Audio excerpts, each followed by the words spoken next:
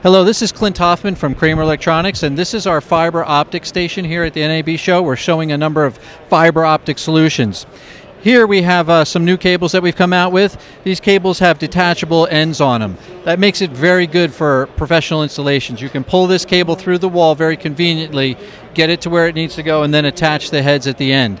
The heads are powered, so you will power each end of the, uh, of the cable once you get the heads in place. Very good for professional installations. We have both a two conductor or 2LC and 4LC version, depending on your application.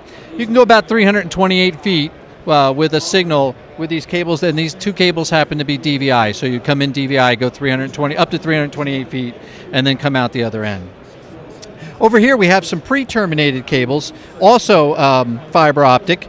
Uh, these kind of cables would be for more everyday applications. We have a DVI, an HDMI, and, uh, and another DVI. I'm sorry, that's DisplayPort HDMI and DVI versions. Again, you can go up to 328 feet, but they are pre-terminated, so the heads are, are, already on them.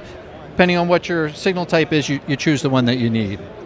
Then we are showing some of our uh, products here that uh, we're using uh, with uh, fiber optic distribution. Here we have um, a uh, converter from HDMI to HDSDI. It can do up to 3G.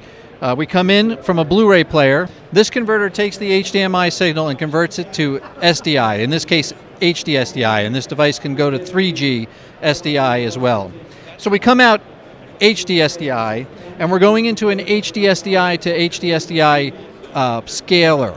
So while the signal we're getting out of the Blu-ray player we have set to come out at 1080i, when we get to the scaler, after we've converted it from HDMI to HD SDI, we're asking the scaler to make it 1080p. So now we've taken our signal up to 1080p. We come out HD SDI and we go into a distribution device that will allow us to send that HD SDI signal over fiber optic cable. We take that fiber optic signal, we come into a matrix switcher. We now have an 8x8 fiber optic matrix switcher. So you can come in fiber optic, do up to 8x8 uh, signals and, source, and sources and displays, and switch.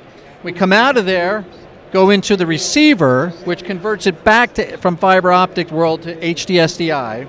We come out of that and we go into this device, which takes it from HDSDI back to HDMI, which is what our monitor wants. So we've started with a Blu-ray signal, turned it into the HDSDI world from HDMI, sent it over fiber optics, routed it, switched it, converted it back to HDSDI, and then converted it back to HDMI for display. And that's a, a complete end-to-end fiber optic solution.